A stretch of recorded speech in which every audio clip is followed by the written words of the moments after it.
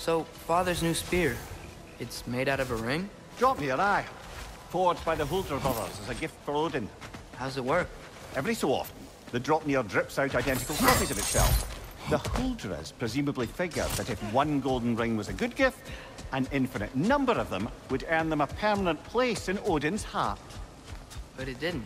Not even a little.